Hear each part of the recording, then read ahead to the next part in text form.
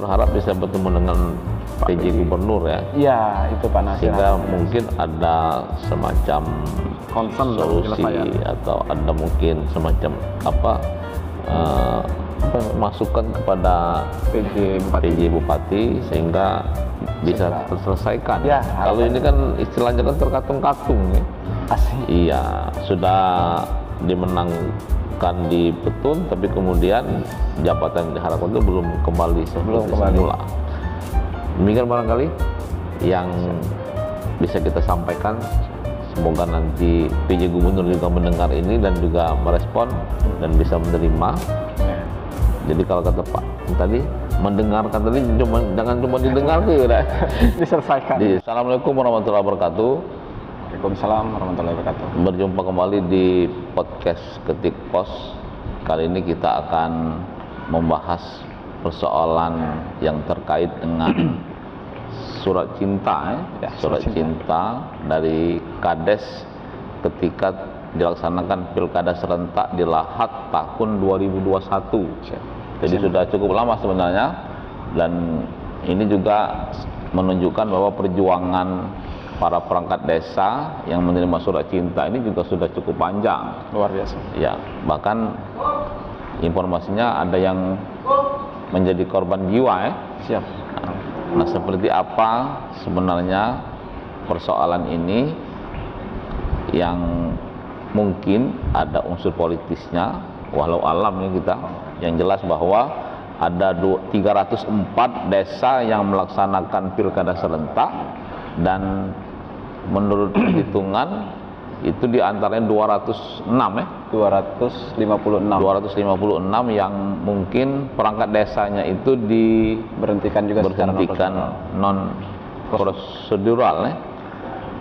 Nah, telah hadir bersama saya di sini Ketua Forum persatuan Persatuan Perangkat Desa Kabupaten Lahat. Kabupaten Lahat Pikri Sumenjar. Sumenjar dan juga di sini hadir beberapa tokoh masyarakat dari Lahat. Ini siapa namanya? Perangkat desa. Perangkat Desa. Bapak M Sapi perangkat desa. perangkat desa juga ini Bapak Yolani Bini, perangkat desa. perangkat desa dan ini juga tokoh masyarakat Tokoh masyarakat. dulu mantan Kepala desa kepala desa periode berapa itu Tahun 85 Pak. 85 periode orde baru lah ya Iya. Waktu itu mungkin tidak akan terjadi seperti ini tapi yang lebih parah lagi itu rekes-rekesan waktu itu. jadi masyarakat itu bisa ngirim surat kaleng itu bisa berhenti kades itu Iya, iya. bukan perangkat desa yang berhenti kadesnya yang berhenti nah silakan ini Pak Fikri seperti apa sih eh, kronologis eh, peristiwanya itu bisa diceritakan Ya. Baik, terima kasih Pak Nasir. ya Eh, jadi kami eh, perangkat desa yang diberhentikan secara non prosedural. Benar tadi sudah disampaikan oleh Pak Nasir di awal pasca pemilihan kepala desa serentak Desember 2021. Nah, itu momen yang sangat menakutkan bagi kami. Merinding saya ini. bikin trauma ya Iya, trauma. Karena saya di sini mewakili beserta kawan-kawan ini mewakili perangkat desa 304 perangkat. 13 desanya tingkat sempat itu ya perangkat desa 304, 50 desa dan 13 kecamatan yang terhimpun dalam FPPD, Ya. Forum Persatuan Perangkat Desa Kabupaten Lahat. Hmm, kalau dihitung itu berapa orang perangkat desa yang terimbas itu? Dua ribuan kali ya? Kalau untuk sesuai dengan pildesnya itu serentak 254, 256 kurang lebih. Ya, desanya. Itu eh, kami serentak. eh, memprediksi, tapi bisa di, Bisa keliru ya? bisa dicek juga sih sebenarnya itu hampir 90% ini Pak Nasir Hmm. bisa dipastikan juga itu pemberhentian sama Iya, dengan kami. sama. sama itu karena proses itu eh, secara masif di Iya, Kabupaten masif. Lahat. Misal ya. sebulan sampai dua bulan setelah kades terpilih itu dilantik ya? Iya, iya, iya. Brutal sekali itu. Brutal sekali menurut kami. Karena bahkan ada di empat kecamatan yang tergabung di FPPD ini, Mhm. eh, Tanjung Sakti Pumi, Tanjung Sakti Pumu, Kota Agung, dan Tanjung Tebat itu bahkan diberhentikan tanpa ada SK gitu. Oh, jadi kategorinya ini ada perangkat desa diberhentikan dengan SK, ya kan? Ya, Ada yang diberhentikan tanpa SK.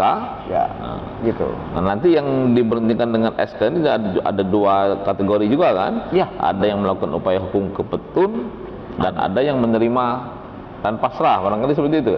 Eh, lebih tepatnya kalah di pengadilan tata usaha negara. Ya, nanti kan yang petun ini kan ada dua ada dua, dua juga nanti. Ada yang dia dimenangkan dan ada yang dikalahkan. Dikalahkan, Ya, ya. bukan dikalahkan, kalah, dalam persidangan.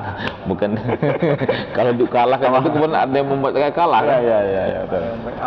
Jadi lanjut, eh, jadi ya itu tadi. Jadi setelah Pildes eh, ada beberapa eh, jadi ber- ber- bervariasi eh, mekanisme pemberhentian itu ber- bervariasi. Ada yang memang di, diberdayakan oleh kepala desa.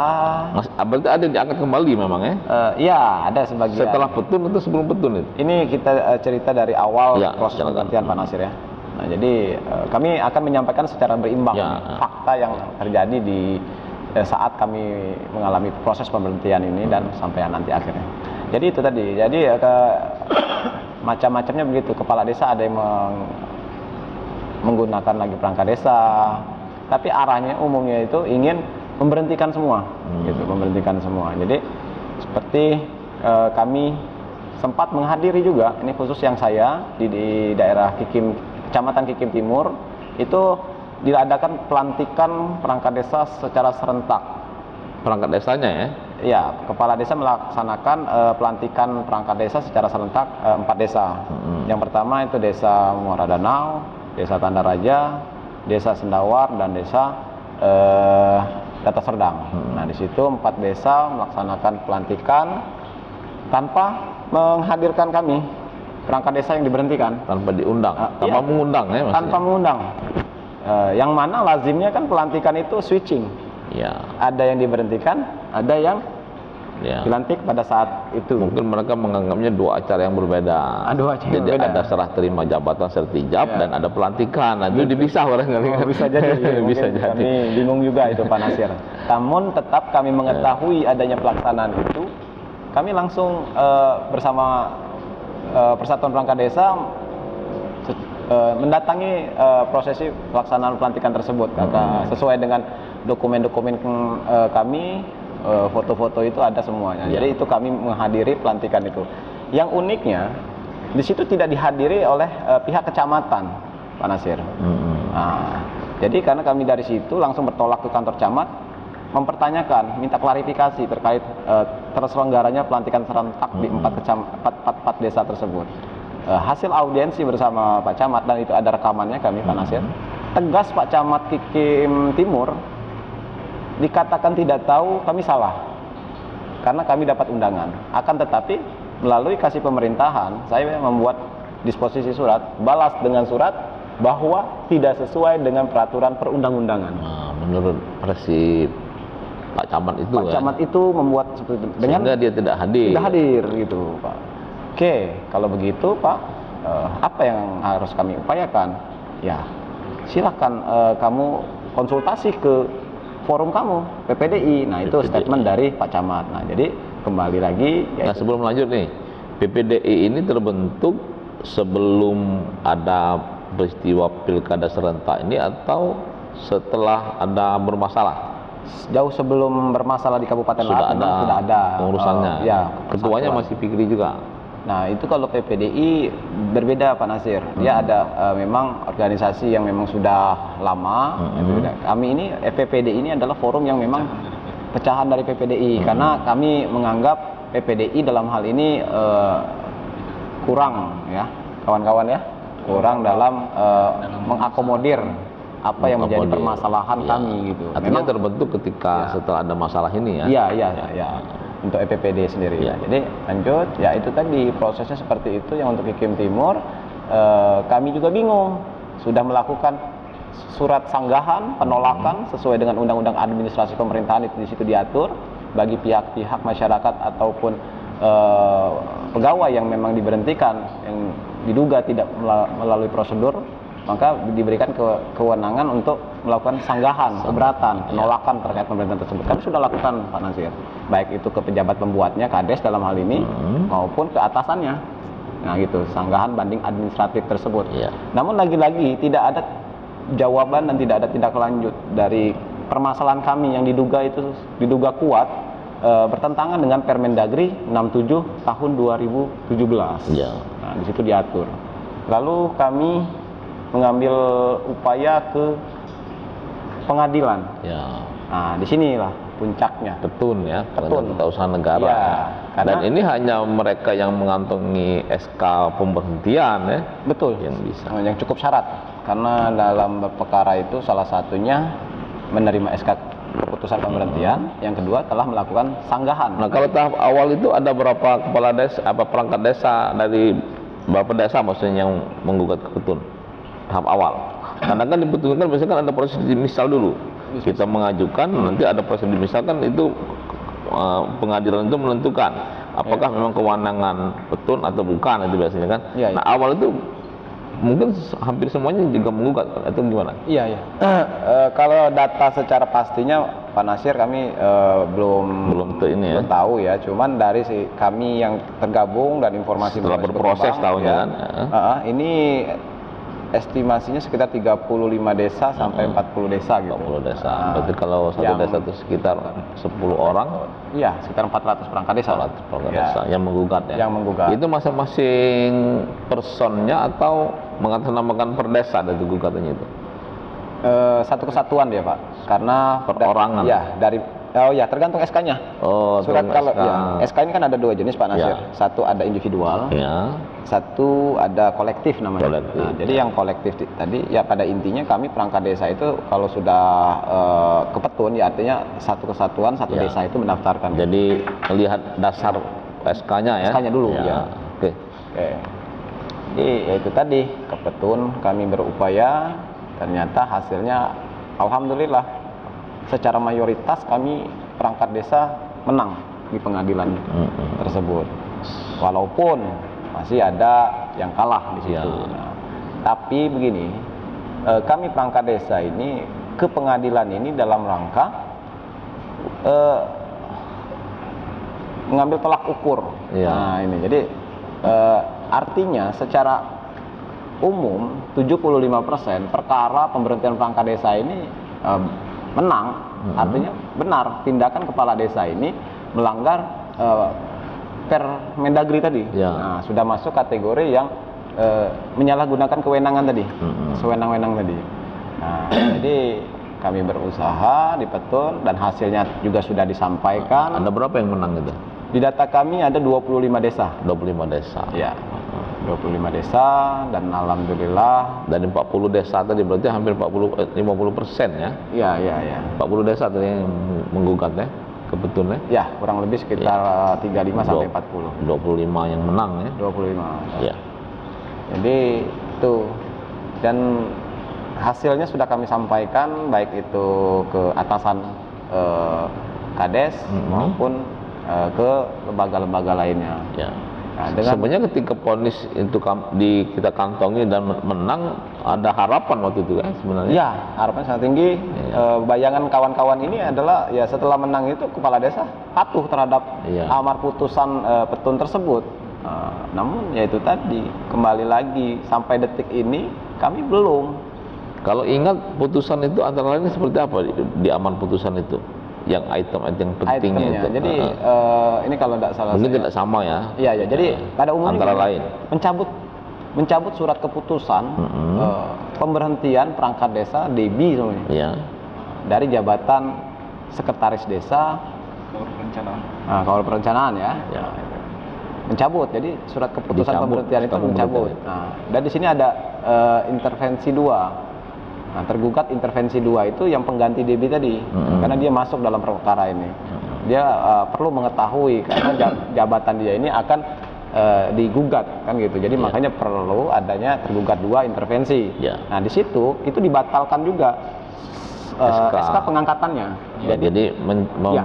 mencabut SK pemberhentian, Pemberhentian. membatalkan SK pengangkatan. Iya, dan kan SK pengangkatan yang baru Yang Ya, baru. nah, jadi mengembalikan juga si jabatan eh, Debi tadi ke Ya. posisinya semula, membayar tergugat atau yang kalah eh, biaya perkara. Ya. Nah itu salah satunya juga. Nah, biayanya ini mungkin juga variasi ya. Ya variasi. Berapa rata-rata habisnya itu? Ah, karena pendaftaran itu 720 ribu ya, tidak salah ya, 720 ribu. Tapi rata-rata itu menghabiskan biaya. Di situ ada tertera salinannya 350 sampai 400 ribu. Ya. Nah, jadi artinya masih ada sisa sebenarnya Ya. dari. Kalau yang biaya operasional selama menggugat itu Nah, itu rata-rata variatif, Variatif. eh, Pak Nasir. Salah satunya ya kami namanya sudah tergabung ini sering sharing-sharing. mm-mm. Eh, termasuk rata-rata operasional ya, Iya, Mau di termasuk sidang, pemeriksaan saksi, Ya. dengan hadir di sidang-sidang itu kan. Betul betul biaya pengacara, Biaya pengacara. eh, transportasi, eh, operasional dan sebagainya administrasi itu habis eh, Rata-rata ya. rata-rata mulai dari 25 juta sampai 60 juta. Nah, lumayan juga ya. Satu perangkat. Nah, mungkin ada jual kebun itu. ya. Pasti. Memang ini salah satunya Iya. rekan kita Debi menggadaikan kebun kopi ya. Kopi dan sawah. Sawah, ada juga menjual sekapan tanah, mobil, hewan ternaknya. Luar biasa. Dengan Pak Nasir. harapan tadi ya bisa mengembalikan posisi Ya. sebagai perangkat desa tadi ya. Ya, karena di sini bahasa kami sehari-hari priukmasi, Iya. Pak, Pak Nasir. Nah, kita tahu sama-sama tahu di daerah ini adalah eh, taraf ekonominya kan minim sekali. Nah, jadi dengan adanya perangkat desa ini, yang mana siltapnya juga bisa membantu perekonomian, ya ini suatu eh, hak yang menurut kami di- perlu dipertahankan. Yang kedua lebih kepada ya semacam ya harga diri lah gitu. Pak Nasir. Karena kami diberhentikan secara sewenang-wenang tadi. non prosedural Non-prosedural tadi, tadi, ya. kan. Dan itu sudah terbukti di putusan pengadilan itu ya. Ya, Iya. yang dikuatkan oleh putusan petun bahwasanya tindakan kepala desa ini melanggar peraturan perundang-undangan Ya, tadi. kalau kalimat kan terbukti secara sah dan meyakinkan. Nah, ya, ya. Itu. ya. Lanjut. Ya, ini juga di sini kami ada salah satu tokoh masyarakat yang memang eh, dari awal perjuangan ini beliau ikut mendampingi perangkat desa. Eh, ya, ini Pak salah siapa? satunya Pak eh, Soekarni Pak Soekarni. dari Merapi Selatan. Ya. Nah, coba mungkin Pak Soekarni ya. Ya, bisa Atau- diceritakan Pak, apa yang mau diceritakan Pak? Eh, kita nyambung daripada pembicaraan Pak Fikri yang tadi ya nyambung Mm-mm. selanjutnya. Nah tadi sudah dibilangin oleh Pak, Pak Fikri bahwa kami masyarakat eh, kita perangkat desa Kabupaten Lahat banyak yang terjadi diberhentikan oleh desa secara semena-mena. Mm-mm. Ya. Nah, setelah itu kami eh, masyarakat atau kepala atau perangkat desa itu mencoba untuk melanjutkan meminta perlindungan hukum Mm-mm. sampai kita tahu itu ternyata eh, beberapa desa yang masuk ke hukum itu mayoritas itu berhasil. Berhasil. Nah, setelah itu eh, kami masyarakat juga perangkat desa yang dijatuhi atau oleh pengadilan atas nama Kak Menang saya tadi. Dia langsung menghadap kepala desa langsung juga menghadap ke kecamatan. Itu menyerahkan berkas keputusan tadi. Salinan putusan Ah, tadi. keputusan putusan tadi itu disampaikan di sana sam- sampai hari ini tidak ada tindak lanjut dari pihak mereka. Ya. Setelah itu kami lanjut lagi mencoba untuk meliris ke tingkat dua, tingkat ya. kabupaten. Kabupaten. Itu juga kabupaten ke Itu bersama tadi ya, forum perangkat. eh, apa itu ke kabak hukum, Mm-mm. ke setoran, bahkan sampai audiensi ke pihak bupati ya. Ya. Tapi ternyatanya kami menunggu sampai saat ini itu belum juga ada jawaban yang pasti dari pihak mereka. Udah itu kami lanjut lagi ke sampai ke Menteri Dalam Negeri kan. Menteri Dalam Negeri. Itu nanyakan itu juga, permasalahan itu juga. Berkas-berkas sudah kami sampai ke sana. Bahkan kami menanyakan kepada mereka ke pihak kementerian eh, istilah kami dusun tadi, kami itu bertanya berlaku enggak Undang-Undang Nomor 6 itu di, di desa, Hmm. khususnya di Kabupaten Lahat. Mereka menjawab itu berlaku Iya. di seluruh Indonesia. Hmm. Juga itu juga ditindaklanjuti oleh Kementerian Bina Desa ke Bupati Lahat. Ada suratnya ya. Suratnya ada. Kalau tidak salah suratnya tanggal 4 September. tanggal 4 September 2023. 2023. 23. Itu juga nggak ada klasifikasinya, Pak. nggak ada jawaban. nggak ada jawaban sampai saat ini. Informasi dari pihak kementerian. Itu kami sebagai eh, mewakili masyarakat Kabupaten Lahat, Hmm. kami merasa kecewa Mm-mm. pada pemerintah daerah Kabupaten Lahat khusus. Mm-mm. Ya, dengan melalui kesempatan ini kami mohon menghimbau kepada aparatur pemerintah kiranya dapat mendengar suara kami ini Ya. agar dapat memperjuangkan warga kami yang ditindak secara semena-mena itu Mm-mm. untuk dikembalikan Ya. oleh pemerintah Kabupaten Lahat Ya. berdasarkan aturan yang ada Pak. Ya. Berikutnya udah itu kerugian-kerugian atau hak-hak daripada mereka yang dirugikan tadi mohon dikembalikan itu Pak. Ya. Itu aja himbauan kami sebagai mewakili masyarakat desa, Ya. masyarakat Kabupaten Lahat. Ya. Lebih dan kurang saya aturi wabillahi taufiq wal hidayah. Wassalamualaikum warahmatullahi wabarakatuh. Ya. Silakan. Mohon didengar, Pak. Ya. Tapi jangan didengar, Pak, kalau bisa kan? Ya. Nah, didengar dan ada responnya. itu. dilaksanakan. Ah, ah. tapi responnya sebenarnya sudah ada ya dari Sekda, dari Bupati. Ya, jadi begini eh, Pak Nasir. Eh, jika kita melihat dari bukti-bukti surat administrasi, betul sependapat kami sependapat juga ada tindak lanjut Hmm. dari eh, laporan-laporan kami Yang disampaikan ya. Ah, ada yang si diterima, ya audiensi diterima dan ada ditindaklanjuti berdasarkan surat sekda tadi. Hmm. Yang surat sekda juga juga tadi dasarnya dari dinas pemdes provinsi Iya. saya, saya lihat di situ dan diteruskan lagi ke camat eh, sekabupaten Lahat. Iya. Di sana camat juga sudah menyampaikan ke yang Kades. bersangkutan kades dalam hal ini bahkan sampai ada kades-kades yang sudah diberikan SP 1 2 dan 3. Berarti ada sudah ada, ada SP ya. Sudah, sudah, sudah. Nah, Sudah peringatan. Peringatan terkait dengan pemberhentian ini tadi. Iya. Ya. Akan tetapi begini Pak Nasir, Eh, ini kami menganggap, kami menganggap ini sebuah eh, trik administrasi saja gitu, Ya. bisa katakan. Karena eh, idealnya tindak lanjut tentu ada penyelesaian. Ya. Nah, di mana di, un- di Undang-Undang Administrasi Pemerintahan Nomor 30 Tahun 2014 di situ diatur semua, baik batas waktu, tindak lanjut, di mana Proses- saat prosesnya, ya, ya. saat menerima laporan pejabat publik itu lima hari meneliti, mencermati terkait laporan masyarakat tersebut. Ya. Dan lima hari batas maksimum itu menyampaikan hasilnya bisa atau tidak tuntas atau tidak. Nah, artinya kan di situ diatur secara konkret, detail untuk eh, penyelesaian suatu permasalahan. Nah, ini sudah dua tahun setengah. Ya. Artinya belum Mungkin hampir tuntas. habis juga masa pemerintahan Kades dari 2021 tadi. ya? Iya. Itu berakhirnya kapan itu?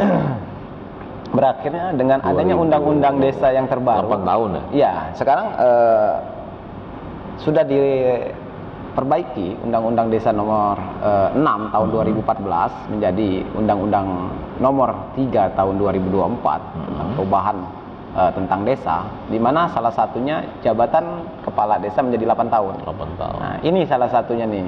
Nah, Jadi masih panjang lagi ya masa Ya.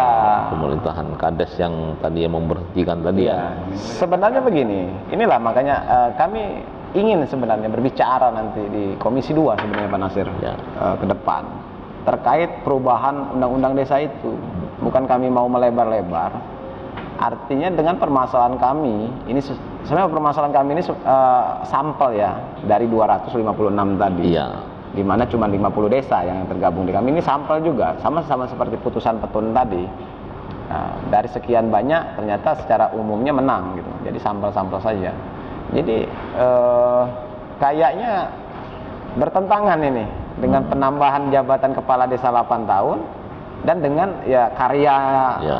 kepala desa ini oknum ya, saya bilang oknum di sini, bukan tidak semua ya, tidak semua kepala desa, tapi ada eh, segelintir segelintir oknum-oknum yang memang eh, sewenang-wenang. gitu. Nah, artinya kan ini patut di, menjadi eh, per- dipertimbangkan dengan penambahan jabatan kepala desa menjadi 8 tahun ini. Ya. Nah, dan ini kami terus terang kami berjuang terus ini bukan ser- saja serta merta mempertahankan hak kami, akan tetapi yang disampaikan eh, tokoh masyarakat tadi, Mangkarni tadi, jelas ini kekhawatiran masyarakat Iya. terkait eh, kepemimpinan oknum-oknum yang nakal bagi Ya. kami. Nah, jadi jangan sampai peraturan perundang-undangan ini tidak dijadi pedoman bagi kepala desa. Nah, Nah kembali ini, ini kalau ditambah lagi dengan putusan sebelum kita ke harapan tadi kan ini masih proses perjuangan tadi kan belum selesai nih Ya. sudah ada ada edaran dari sekda kemudian Hmm. ke kades dan camat nah setelah setelah itu apalagi yang sudah dilakukan selama ini bagi pemerintah. bukan dari Eh, pihak kami. forum tadi persatuan perangkat desa tadi Ya, jadi kami Forum Persatuan Perangkat Desa selain kami eh, menyampaikan permasalahan kami ke Sekda, ke Camat, kami juga sudah eh, berangkat langsung ke Jakarta sesuai dengan yang disampaikan ya. ke Kementerian Dalam Negeri. Khususnya yang membidangi ini adalah Dirjen Bina Pemerintah Desa. Itu sudah dua kali dan menyurati juga sudah dua kali terus dan ya tetap kembali lagi juga ada juga tindak lanjut suratnya Mhm. terkait klarifikasi eh, permasalahan pemerintahan perangkat desa. Informasi dari Bina Desa tadi belum ada jawaban. ya Nah, belum ada jawaban. tapi mereka sudah juga sudah menyurati bupati dan juga menyurati gubernur barangkali ya Ya, Tembusannya ada ya, juga. ya. Dari surat eh, kami 23 Agustus 2023 Hmm. dijawab oleh Dirjen Bina Desa tadi eh, 4 September di mana kepadanya adalah Gubernur Sumatera Selatan dan Bupati Lahat. Ya. Nah, di situ ter- perihalnya klarifikasi pemberhentian non prosedural di beberapa kecamatan terlampir di situ. ya Nah, sampai saat ini terinformasi belum ada jawaban nih. ya Belum ada jawaban. Nah, jadi proses ini sangat panjang. Ya tentu harapan kami di sini kami mempertanyakan apakah benar Permendagri ini bisa berlaku ya khususnya di Kabupaten Lahat. Ya kalau memang ini berlaku, kami minta keadilan di sini karena sesuai dengan Permendagrinya, undang-undang desanya ada dan kami ke pengadilan pun berperkara di ha- hasilnya menang. Nah, artinya kami belum mendap- mendapatkan keadilan tersebut, Hmm. Pak. Nah kalau terkait pemberhentian perangkat desa oleh kades, ya, mungkin sebelum-sebelumnya sudah pernah terjadi ada kasus seperti ini, kemudian melakukan gugatan ke petun dan juga mungkin ada apa follow up dari putusan itu. Ada tidak yang pernah terjadi? Ter- Yang di luar ini ya, di luar untuk membandingkan bahwa sebenarnya kan putusan petun itu juga bisa ada ujungnya itu. Ya, benar. Idealnya seperti itu.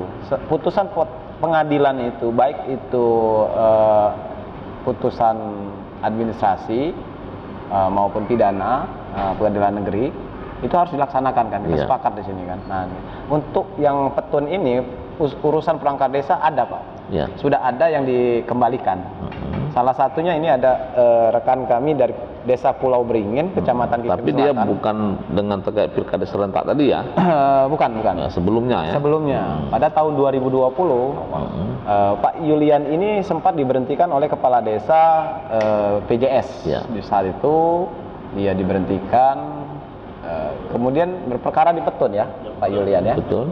Oke, jadi di Petun beliau berperkara dan hasilnya menang. Menang. Walaupun dalam proses mencapai kemenangan itu panjang sekali. Ya. Tingkat satu Sampai menang. ke Mahkamah Agung ya. Ya, sampai ke PK. Berarti lewat Medan juga berarti. Ya. Medan terakhir ke PK itu. Iya. Luar biasa. Habis berapa nominalnya? Dananya hampir 500, Hampir 500 juta, 500 apa itu? Hampir 500. Oh 500 500 juta bukan 500 ribu. Ya, Ini. pikir 500 M tadi. Jadi, Dan tapi bisa dapat lagi jabatannya. Dapat lagi. Nah. Kembalikan lagi. Sampai Karena ke- PJ yang keduanya dia proaktif. Mm-mm. Dia mungkin tak dengan aturan. Iya. Jadi kan kami dipanggil lagi. Iya. Lagi. Sampai sekarang masih menjabat. Tidak. Enggak, diberhentikan lagi. Setelah itu, Pilkada serentak, Heeh. Diberhentikan lagi. Kepala desanya definitif, kami diberhentikan lagi. Heeh. ikut menggugat kemarin. Menggugat juga. Oh, ikut menang lagi. Menang, di tingkat pertama. Palembang, Petun Hmm. Palembang kalah dibanding. banding di Medan. Ya. jadi jadi begini begini. Saya Ya, artinya memang ber- eh, beragam juga variasi ya dari mereka yang menggugat ini ya. Iya. Ada yang menang, ada yang kalah di awal, ada yang dibanding. Ya. Ya. Tapi intinya bahwa ada 25 desa tadi yang kemudian menang ya. Ya, menang. Heeh. Yang belum dilaksanakan. Dan yang masih berjuang itu kan itu tadi yang masih Iya. berharap eh, dikembalikan jabatannya yang tadi. Ya, sesuai dengan peraturan perundang-undangan yang setelah diterbitkan tadi. Ya. Karena bicaranya kami di sini bicaranya peraturan dan perundang-undangan yang telah diterbitkan pemerintah dalam hal ini. Hmm. Nah, oke kemudian setelah tadi ke menteri Ya. apalagi yang lakukan? Itu kan tahun 2023 ya. Iya, eh, du- eh, du- baru eh, Mei tadi kami Mei melakukan berangkat. 2024 itu kembali Ya. ke berangkat ke, Ke Jakarta. Katanya ada berangkat dengan ini pihak ini apa? Kabupaten juga. Oh iya, eh, jadi gini pada tanggal 26 Maret 2024 Setelah ketemu dengan eh, Bupati ya? a- terjadi audiensi antara Forum Persatuan Perangkat Desa di situ eh, dan tim OPD Mm-mm. eh, di ruangan PJ Bupati kami menyampaikan apa yang jadi permasalahan. Iya. Kemudian PJ Bupati menyampaikan tindak lanjuti jangan sampai kita tidak dianggap bekerja. Ya. Ya dengan dengan statement closing statementnya itu dan eh, terbukti membuat tim Ya, ada tim ya. Nah, tim O- tim OPD tadi yang terdiri dari eh, asisten satu, inspektorat Kabupaten Lahat, kabak hukum dan eh, pelaksana teknis yaitu eh, DPMD kepala dinas. Suratnya April April 2024 ya. 2024. Berangkatnya Juni. Juni. Nah, April, Mei, Juni. Juni. Ya. Nah, jadi artinya apa? Karena mungkin perlu anggaran kan. Ya. Jadi di situ eh, Berangkat sama-sama berarti dengan forum. Tidak, Tuh. dia berangkat langsung. Nah, Uh-uh. Dan kami tetap kawal terus itu. Bahkan eh, sebelum keberangkatannya kami sempat tanya, Iya. apa hasil tindak lanjut eh, Sebelum berangkat ya. sebelum berangkat? Mm-mm. Karena jedahnya itu sangat lama. Mm-mm. Nah, karena April, kembali lagi kata saya tadi, ya. Tiga bulan. Karena pemerintahan ini kan diatur, Pak Ya. Nasir. Diatur oleh eh, Undang-Undang nomor 30 tahun Hmm. 2014 tentang administrasi pemerintahan tadi kan. Jadi kami konfirmasi di bulan Mei Ya. Bahkan kami menyurati Ya. untuk diadakan audiensi kedua Ya. mempertanyakan apa tindak lanjut dari audiensi Audiensi pertama, pertama tadi. Ya, gitu. Ah, di karena surat kami tidak dijawab untuk diadakan audiensi kedua kami me- menerobos ke kabak hukum dilayani oleh Pak Aristoteles beliau menyatakan di situ kami sudah ah, membentuk tim akan tetapi belum berangkat karena Ya. ada kendala-kendala lain seperti ada pelatihan apa segala Ya, macam kendala teknis lah ya. teknis lah jadi ya nah di situ oke nanti suratnya sudah ditunjukkan ke kami tim Hmm, Polri kan ya. ternyata eh, seiringnya waktu berjalan kami juga me- menganggap ini lamban Kabupaten Hmm. Lahat kami berangkat langsung Pak Nasir Ya. ke Dirjen tadi Dirjen. nah dan itu tadi Permendagri itu tegas mereka mengatakan benar berlaku Ya. dan ini penyelesaiannya di Kabupaten Lahat. Nah, silahkan kawan-kawan perangkat desa eh, jalin pendekatan persuasif Dengan kades yang bersangkutan ya. dengan pemerintah Kabupaten Oh, Lahat. kabupaten. Ya, karena di sini eh, kewenangannya ada di bupati. Ya, Nah, untuk penyelesaiannya ya. Oke, kami langsung menjalin lagi. Ternyata eh, kami datangi lagi ke pemerintah Kabupaten Lahat. Hmm. Suratnya dan mereka sudah berangkat dari eh, Jakarta di bulan Juni itu. Ya. Pertemuan itu. Ya, hasilnya itu tadi statementnya eh, kami akan eh, memanggil seluruh camat-camat dan kepala desa nah, untuk dilakukan eh, pengembalian Ya. perangkat desa yang menang petun dalam waktu dekat. Janjinya awal Juli. Ya. Awal Juli janjinya. Awal Juli ini kami akan Juli panggil 2024. 2024. Berarti ke depan ya. Ya. Sekarang bulan Juli ya. Bulan Juli. Oh, sudah lewat berarti. lewat. Secara bertahap mereka akan melakukan pengembalian perangkat desa. Dan sudah ada tuh. Eh untuk saat ini belum ada. Belum ada. Belum ada. Memang ada. Mungkin lagi nyusun nama Ya kali. mungkin mungkin lagi nyusun. Jadi eh, tapi kembali lagi ini eh, ada juga tadi baru tadi siang dan kemarin ada kabar di grup kami sudah diberikan surat panggilan Ya. oleh kepala desa. Mm-mm. Nah, ya tapi kembali lagi Pak, sebenarnya eh, pengembalian ini bertahap sudah terjadi. Seperti di Mula Ulu, Hmm. rekan kami eh, perangkat desa di Mula Ulu itu Kecamatan Pajar Bulan, dia sudah dikembalikan berdasarkan putusan petun. Jarak dua bulan dia diberhentikan kembali, diberhentikan kembali, Iya. dijadikan staff. Nah inilah yang bentuk-bentuk daripada kesewenang-wenangan kata kami. Nah ini kawan-kawan tadi sudah dipanggil dan eh, bertemu arahnya begitu. Jadi ikhlas tapi tak rela. Ya, tapi paling, tapi paling, paling tidak kan ada semacam harapan dan mungkin perkembangan dari perjuangan ya. Ya, ya, Artinya posisinya tadi tidak ada sama sekali kemudian dikembalikan. Ya. Dalam Masalah kemudian itu kan mungkin persoalan baru lagi itu kan Ya, ya. fenomena. Karena berhubungan dengan dunia politik juga kondisi. yang tadi itu ada syarat. Ya, jadi ada syarat benar. Syarat. Jadi begini. Pengembalian ada syarat. Iya, jadi seperti kawan-kawan Pagun ini. Ya Pak Gun ya. Ya, kawan-kawan Pagun ini satu bulan yang lalu ya, eh, Bang Safik ya. Nah, coba jelaskan sedikit gimana kronologis di. Kecamatan Pagun. Nah, yang mengenai di Pagun pada waktu itu lebih kurang bulan kemarin lah Hmm. nah, kami dipanggil ada surat pemberitahuan judul Hmm. surat pemberitahuan eh, menuruti keputusan PTN dengan syarat-syarat Ya. Dengan syarat-syarat. Nah, jadi kalau menurut kami keputusan PTN itu tidak dengan syarat-syarat. Mm-mm. Nah selesai itu beberapa minggu dari selang waktu itu kami mendapatkan SK pemberhentian kembali. Oh. Belum diangkat. Berhentian lagi. SK pemberhentian Oh. keluar lagi. Jadi Syaratnya kali. apa itu kalau boleh tahu sebut? Syaratnya apa itu? Nah syarat syarat yang pertama SK. SK pengangkatan ya yang digunakan untuk ini tadi ya dasar gugatan ya. SK pemberhentian. Ya Yang ketiga rekomendasi dari camat. sama. Nah, sedangkan di SK itu udah ada nomor camat itu, rekom camat itu, tapi tidak ada kalau surat rekom itu tidak ada. Mm. Nah ini yang membingungkan. Sedangkan kami telusuri dari di kecamatan, di arsip, nggak ada Mm. Kalau bapak jabatannya apa pak? untuk pada saat diangkat pertama kasih pembangunan Mm. Kemudian Kasih pembangunan ya. kasih Ya. pembangunan. di rolling jadi adus. Kadus. Oh, jadi kadus terakhir yang Jadi terakhir kadus waktu yang diberhentikan itu kadus Ya. posisinya. Heeh. Kadus ya. itu yang yang kami alami di kecamatan Sekarang posisinya berhenti lagi jadi dari kadus. berhenti Berhenti. Nah. Tapi sempat menjabat kemarin. maksud Kan kemarin kan dipanggil nih, nah, disodorkan syarat-syarat. Nah sempat menjabat di jadi kadus. Karena enggak tidak mencukupi syarat tadi. Oh, tidak mencukupi Iya. syarat.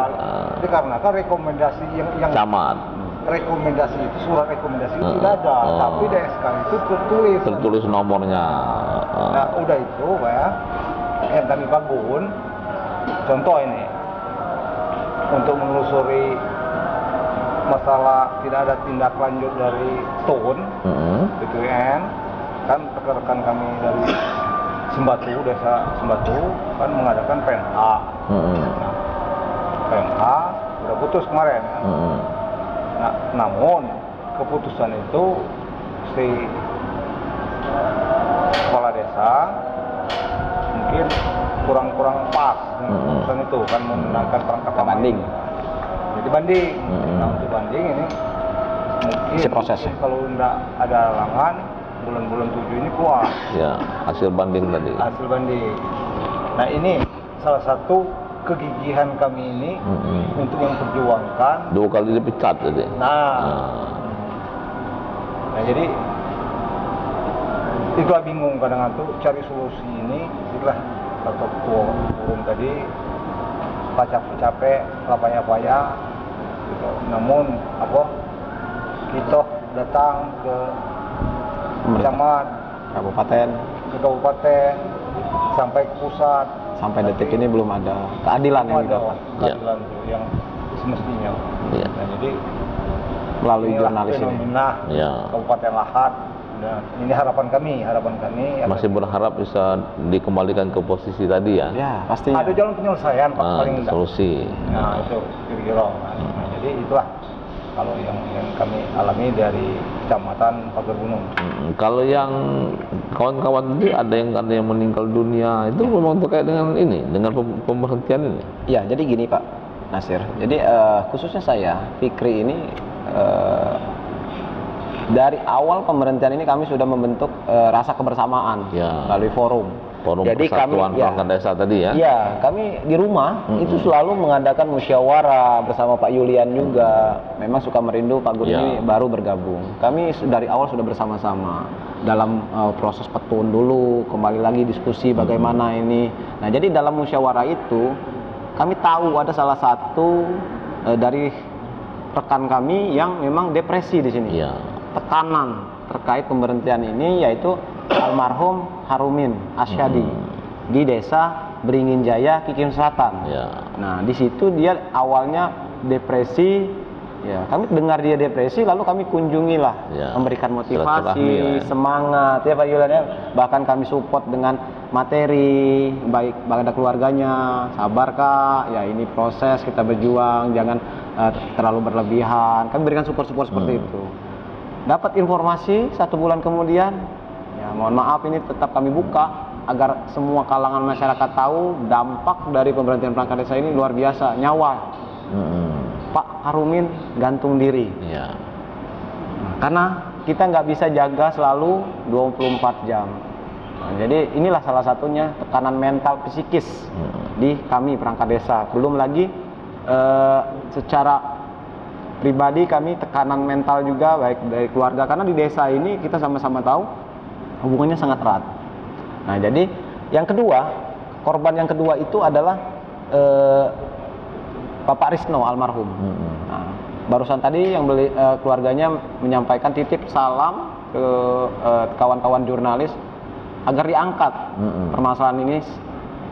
Mereka sependapat agar mendapatkan terang benderang Ya. per- penyelesaiannya ini. Nah, beliau meninggal juga pak, Baru. Sudah lama. Oh sudah lama. Nggak, berbe- nggak jauh beda dengan, Dengan yang, yang eh, Bapak tadi. Harumin Pak tadi. Harumin tadi. Iya. Sama, Jadi, bunuh diri juga. Selisihnya dua bulan ya kalau nggak salah ya. Sakit Iya, tapi. nggak sampai ya? Nggak sampai. Sakit. Ya, jadi mu- ya karena biaya petun ini sangat tinggi, Hmm. jadi ya terkepikiran kepikiran penyakit lamanya kambuh naik, meninggal. Ya. Nah, jadi ya itulah tadi fenomenanya kami berjuang mempertahankan hak di sini kami minta keadilan ke sana ke sini Hmm. baik dari kecamatan, kabupaten, pusat.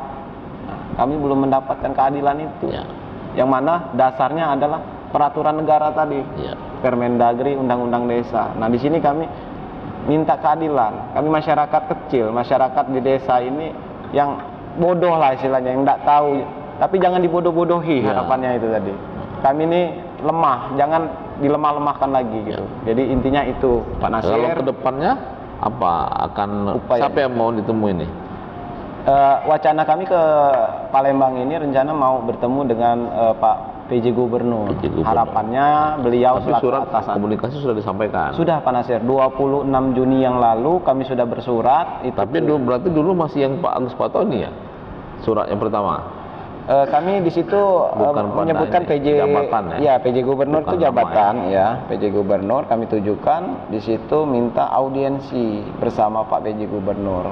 Suratnya sudah kami sampaikan 26 Juli melalui pos tercatat. 26 Juli ya. Ya, harapannya apa? Juni kali, bukan 26 Juni. Juni. Ya, ada bukti suratnya ada. Nah, jadi meluruskan lagi tadi eh, salah satu ini gambaran tebalnya oknum-oknum camat, eh, oknum-oknum kepala desa terkait eh, peraturan perundang-undangan maupun eh, putusan petun. Ya.